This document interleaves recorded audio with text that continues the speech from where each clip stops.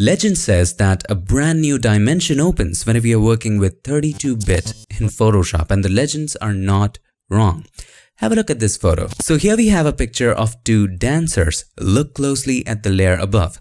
We have a layer called light. Let me turn it off and on for you. Just a bulb kind of thing, just a blob of white right in there at the top.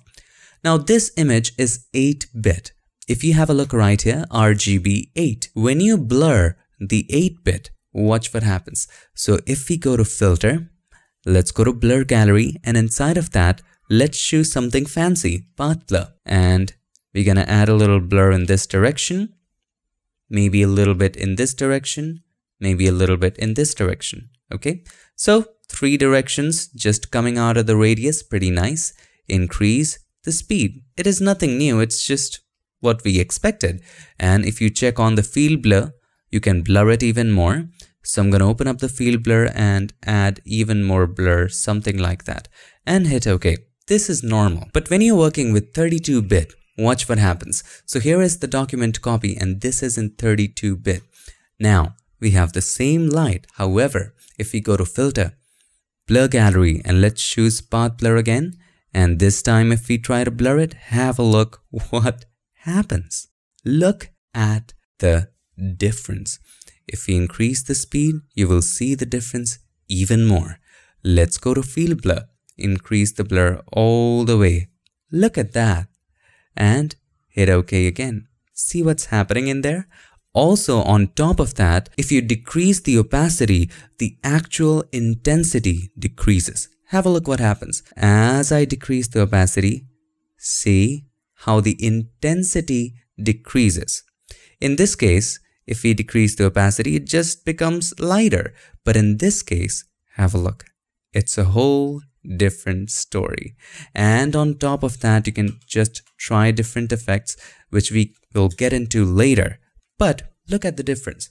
Why is this happening? Today I'm going to share with you three secret advantages of working with 32-bit in Photoshop. So without any further ado, let's get started.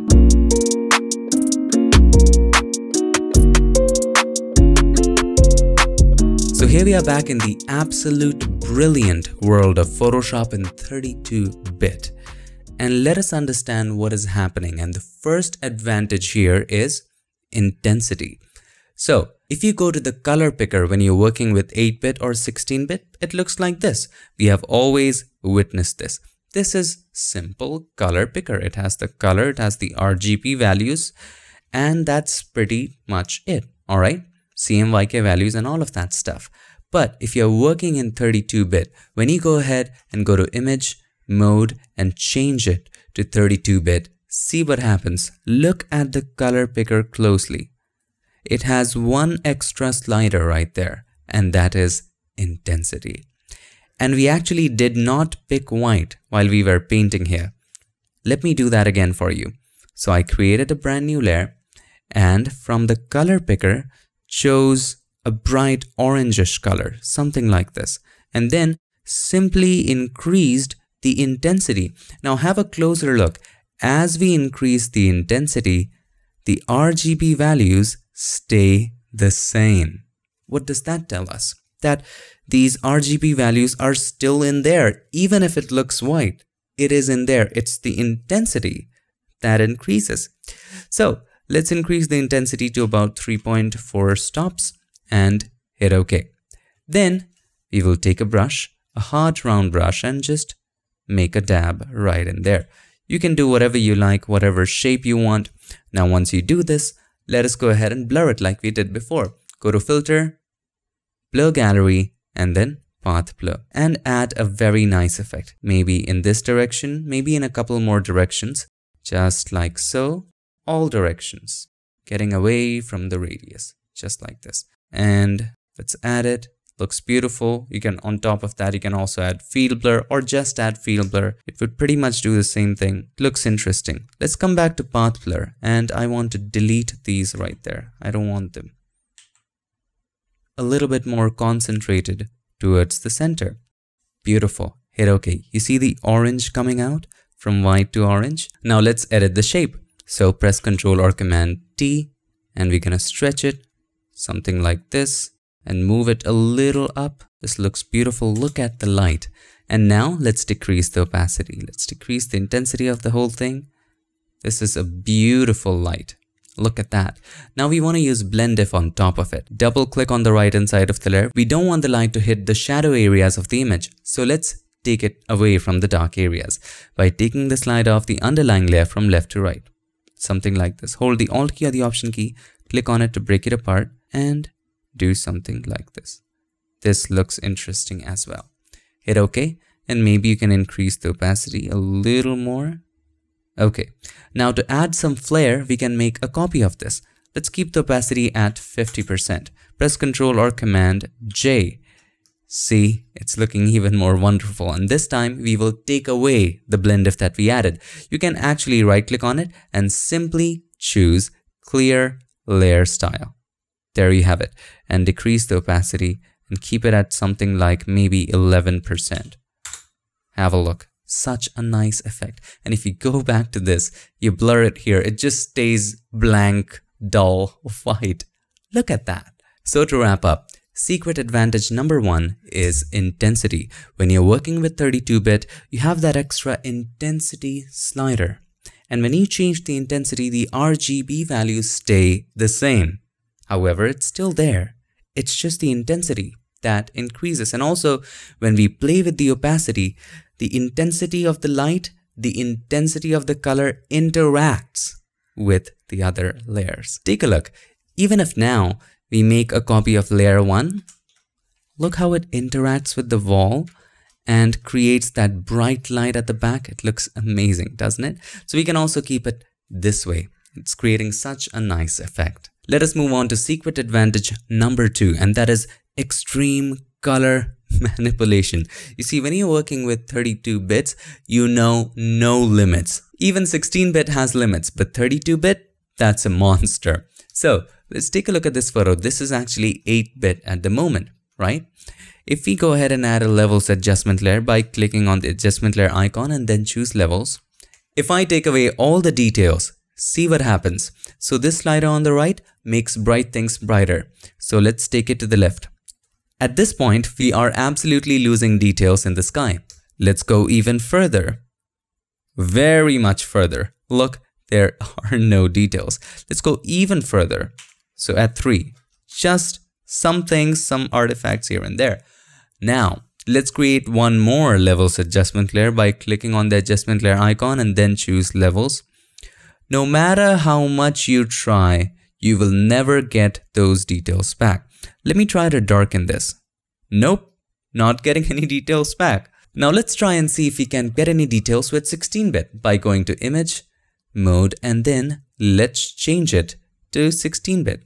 No details even when you're working with 16 bits and you have lost the details, you try to darken it, the details won't be back.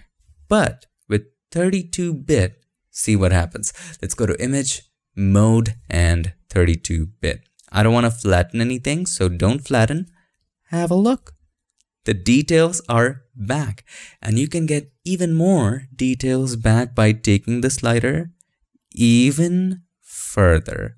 Look at that, my friend. It is absolute bonkers.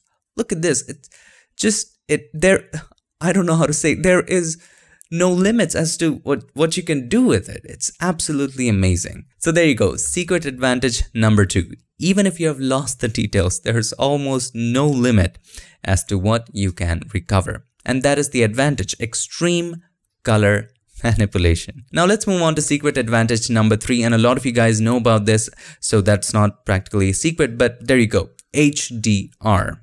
See, when you're working with HDR in 32-bit, it's unbeatable. You see what I did there? Let's move on. So let's create an HDR image. Let's go to File, Automate, and inside of that, Merge to HDR Pro. We will browse the files, and these three exposures are the one we want to consider. Hit OK.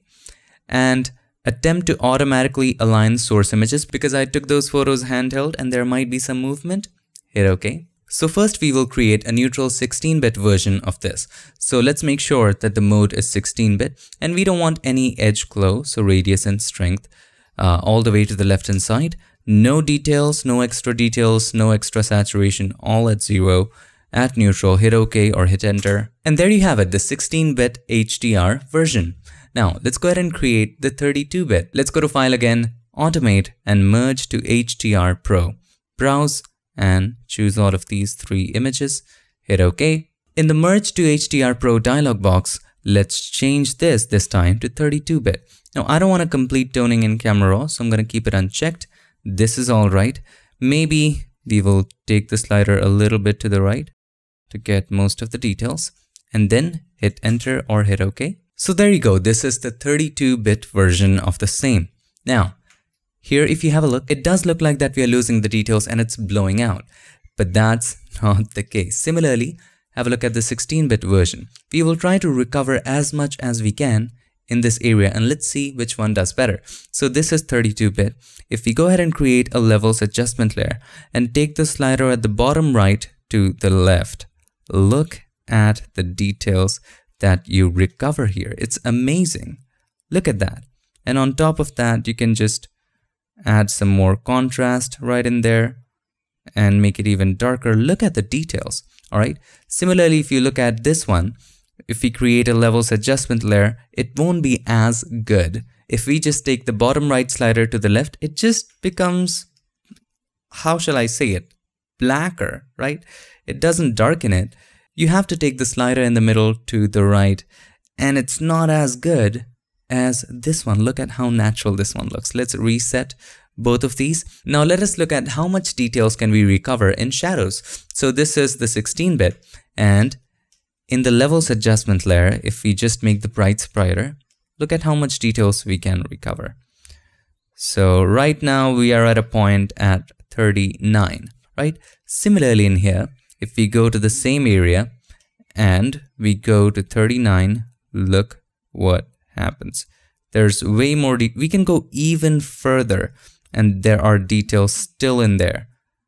At this point, we're absolutely losing it. But look at 32-bit. It's just a completely different story. So there you go.